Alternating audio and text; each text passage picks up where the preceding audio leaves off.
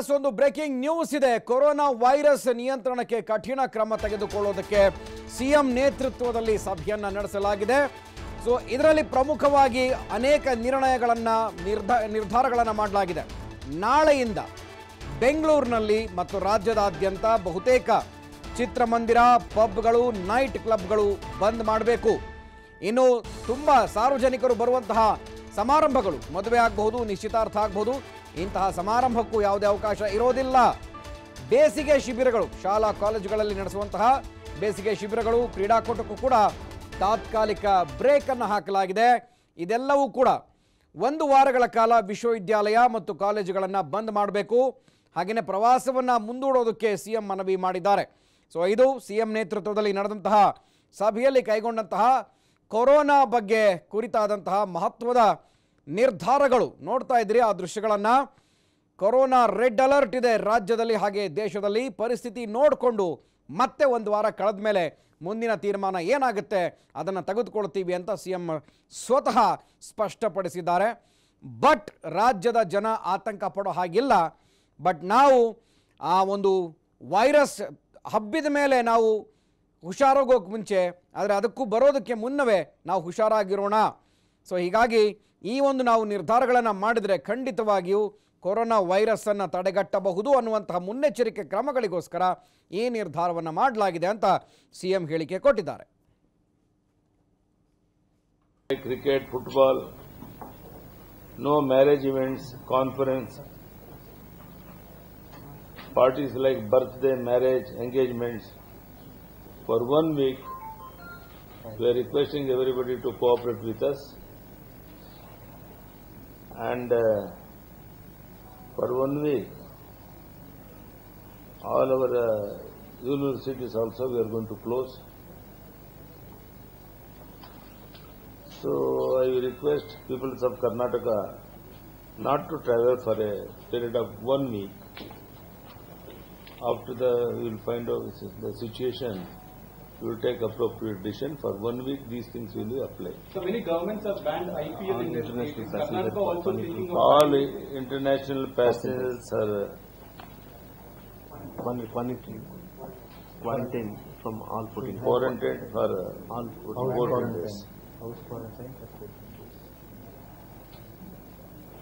Isolation facility provided in all districts is provided for suspected cases also.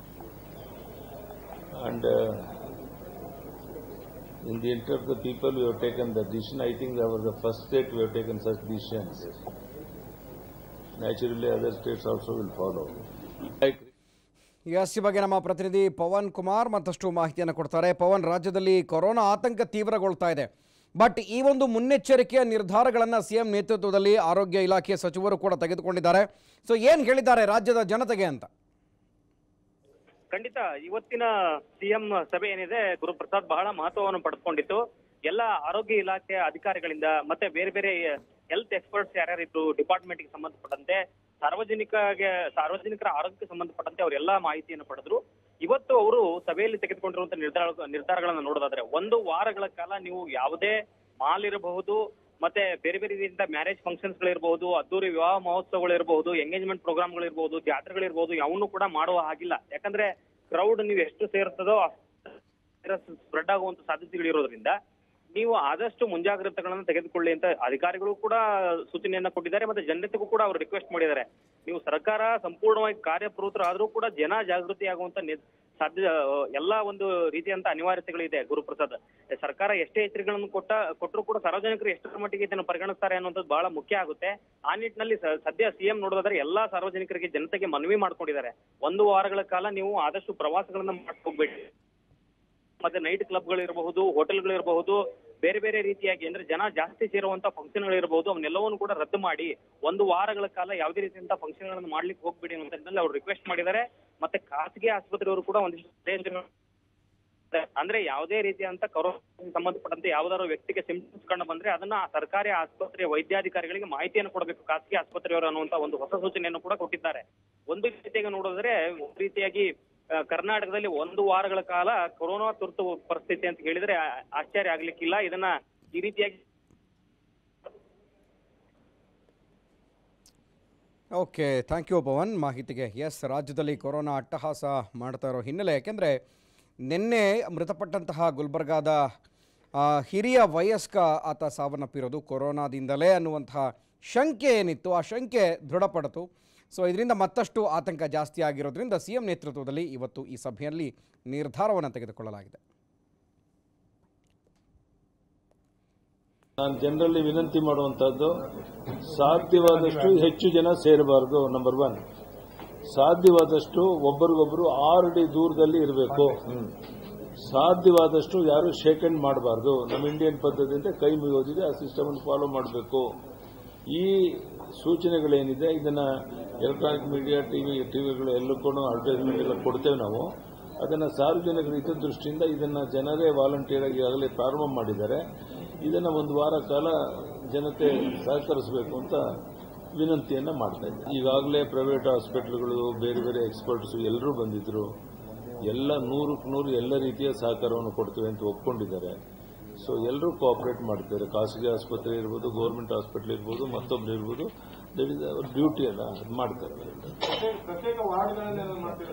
ಮಾಡಿದ್ದೀವಿ ಈಗಾಗಲೇ already ಪ್ರತ್ಯೇಕ ವಾರ್ಡ್ಗಳು ಮಾಡಿದ್ದೀವಿ. S ನೋಡ್ತಾ ಇದ್ದೀರಿ. ಸಿಎಂ ನೇತೃತ್ವದ ಸಭೆ ಮುಕ್ತಾಯಗೊಂಡಿದೆ. ಕೇವಲ S S L C P U C ಪರೀಕ್ಷೆಗಳಿಗೆ ಮಾತ್ರ ಅವಕಾಶ ಇದೆ. ಅದನ್ನು ಹೊರತುಪಡಿಸಿದ್ರೆ so I T B T ಕಂಪನಿಗಳಲ್ಲಿ ಈಗಾಗಲೇ ವರ್ಕ್ ಫ್ರಮ್ ಹೋಮ್ ಈ ಸೂಚನೆಯನ್ನು ಕಡ್ಡಾಯವಾಗಿ ಕೊಟ್ಟಿದ್ದಾರೆ. ಇನ್ನು ಸಿಎಂ ನೇತೃತ್ವದಲ್ಲಿ ನಡೆದಂತಹ ಆರೋಗ್ಯ ಇಲಾಖೆಯ ಸಚಿವರ ಮತ್ತು ಅಧಿಕಾರಿಗಳ ಜೊತೆ ಒಂದು ಮಹತ್ವದ ಸಭೆ ನಡೆದಿದೆ. ಸಭೆಗಳು ಮಾಡೋಂಗಿಲ್ಲ, ಸಮಾರಂಭಗಳಿಗೆ ಹೋಗಾಗಿಲ್ಲ. ಕ್ಲಬ್ಬು, ಪಬ್ಬು, ಬಾರು, ರೆಸ್ಟೋರೆಂಟ್ಗಳಿಗೂ ಕೂಡ ಬ್ರೇಕ್ ಇದೆ. ವೀಕೆಂಡ್ ಅಥವಾ ಮಾಲ್ ಈ ಒಂದು ಥಿಯೇಟರ್ಗಳಿಗೂ ಕೂಡ ಹೋಗಬೇಡಿ ಅಂತ ಸ್ವತಃ ರಾಜ್ಯದ ಮುಖ್ಯಮಂತ್ರಿ, ಸಾರ್ವಜನಿಕರಲ್ಲಿ ಜನರಲ್ಲಿ ಮನವಿ ಮಾಡಿಕೊಂಡಿದ್ದಾರೆ. ಇನ್ನು ಸಭೆ ಸಮಾರಂಭಗಳು ನಾಮಕರಣ ಆಗ್ಬೋದು ಮದುವೆ ಆಗ್ಬೋದು ನಿಶ್ಚಿತಾರ್ಥ ಆಗ್ಬೋದು ಸಾಕಷ್ಟು ಸಂಖ್ಯೆಯಲ್ಲಿ ಜನ ಎಲ್ಲಿ ಸೇರ್ತಾರೆ.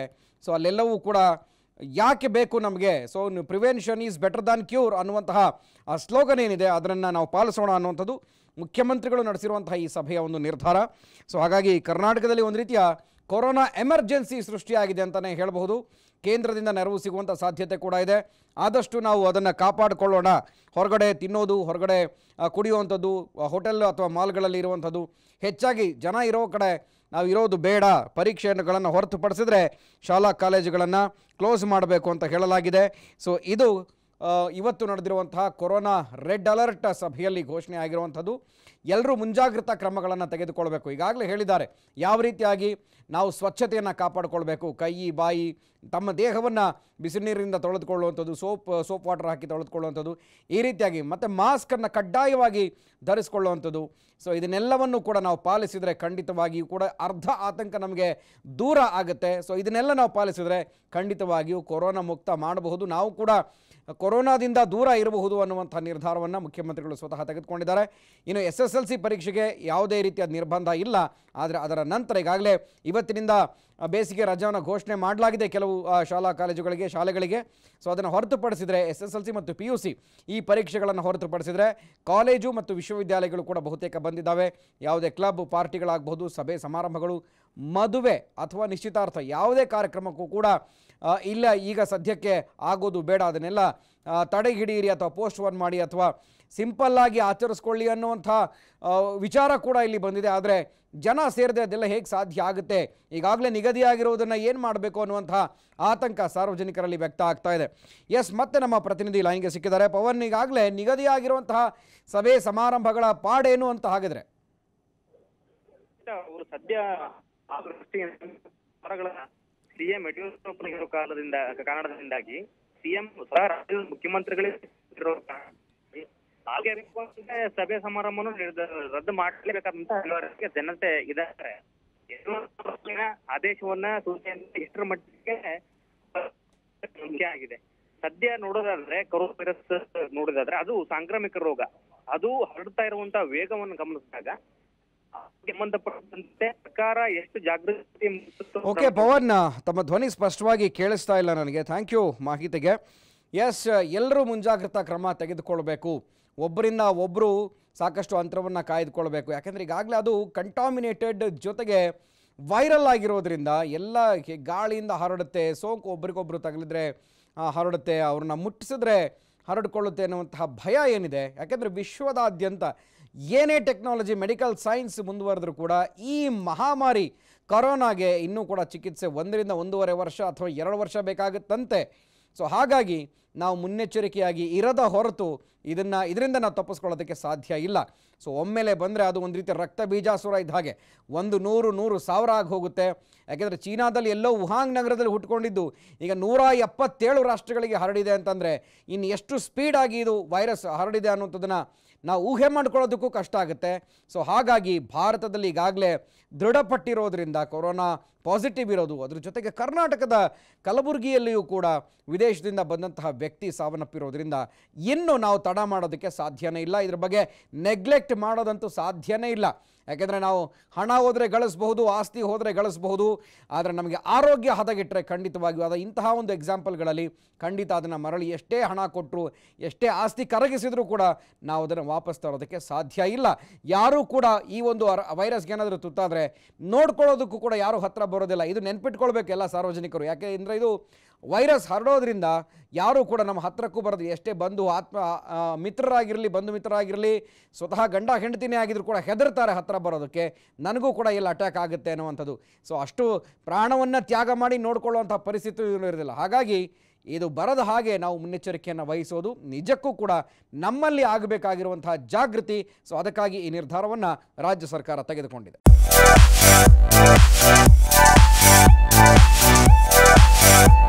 We'll